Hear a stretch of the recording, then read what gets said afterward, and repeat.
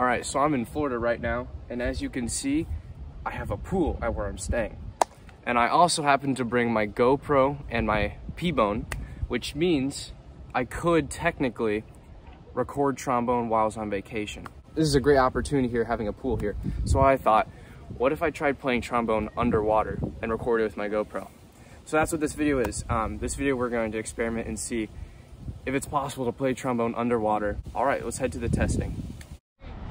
I think the strat is if I keep blowing air enough into it, it'll no water will be able to come in through the bell. So hopefully I can create like this little membrane, this pocket of air, so that sound can still travel through the water. So if I go under the water while I'm blowing, water won't be able to get in the bell. You know, that's not that bad actually. Water isn't that cold. All right, let's put you guys underwater. Oh, ah, okay.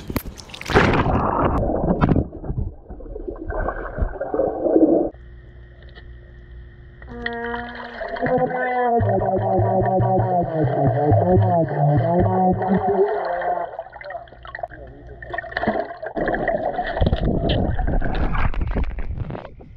what I heard, I think it made noise, but I'll have to go look back at the tape. All right, now the idea is if we keep the trombone oriented like this, the water won't be able to come back under because of the air created. So we're gonna try playing it straight up and down.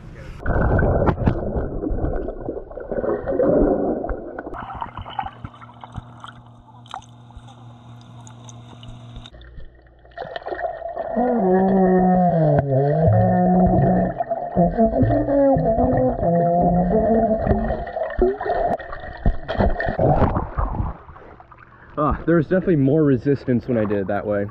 So I have to really like push against. All right, that's all the testing on the pool now. So after testing it, it seems like it is definitely possible to at least make a sound underwater with a brass instrument, or rather plastic instrument. But it definitely takes a lot of air um, to pump it out and keep the water out.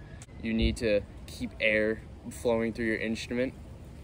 And depending on how you orient it, um, it could be pretty tough.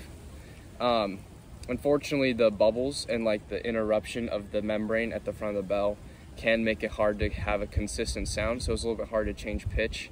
But in the end, I would call this video a success, and I think you can indeed play trombone underwater.